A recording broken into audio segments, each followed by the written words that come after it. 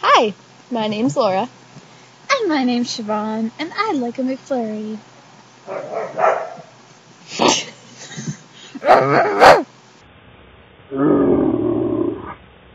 It's like he fires at the neighbors or outside.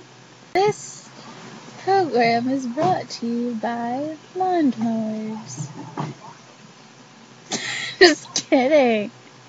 the issue that we'd like to ask you about is the word lawnmower because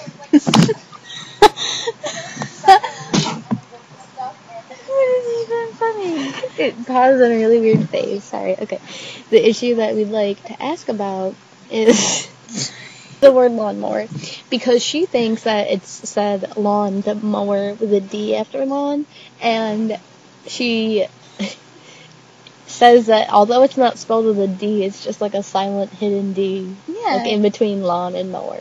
But that's fake. There's no such thing as a lawn mower. This is your lawn. No, it's not a lawn. It's a lawn. Yeah, but when you put lawn and mower together, it becomes lawn mower. No, it's just lawn mower. You mow the lawn with a lawn mower. The lawn mower. No. No. Them together. It's lawn mower. Everyone's gonna think you're retarded because you don't even know words. Like when you tried to say I concur and you said I conquer. Look, what do you conquer? Okay, don't answer that.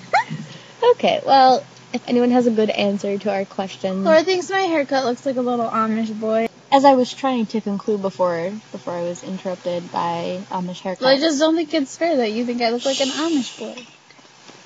We're passing. We want to know whether it's lawn mower or lawn mower. So you can vote and tell us. She has ADD and she's retarded, so just ignore that.